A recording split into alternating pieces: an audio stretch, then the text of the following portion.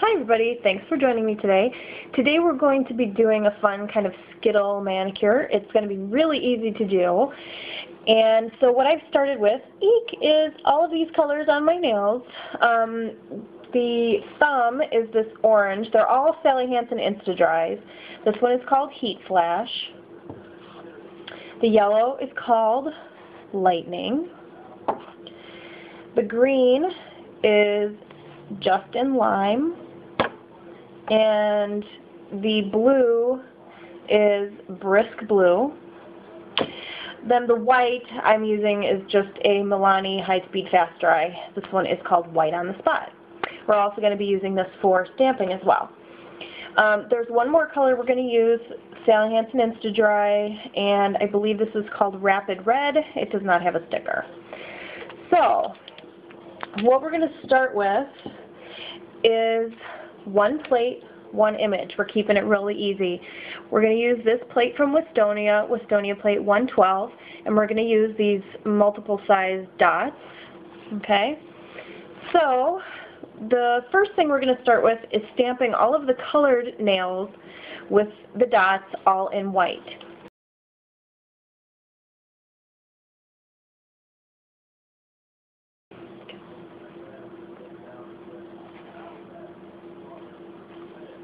Okay.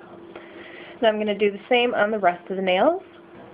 Okay, so here are the white dots, and I have cleaned up around the cuticles. And now we're going to do a whole rainbow on the white nail using the same dots. We're going to start just with the red. We're going to just make little stripes of color.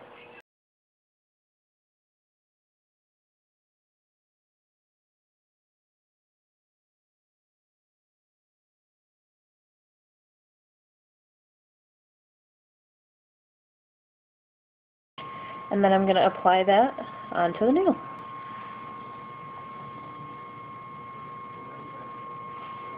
Okay, now all I have to do is clean up around the cuticle with nail polish remover on a cotton swab. And then we follow that up with top coat.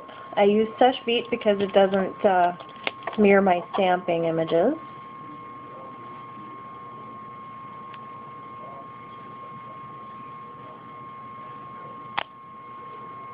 And there it is.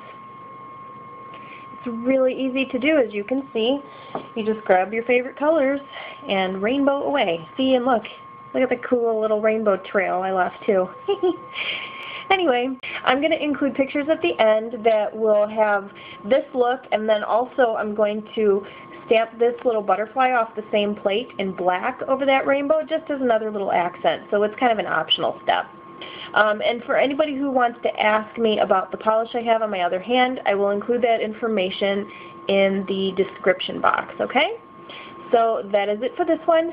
Thanks so much for watching, and we'll see you next time. Bye!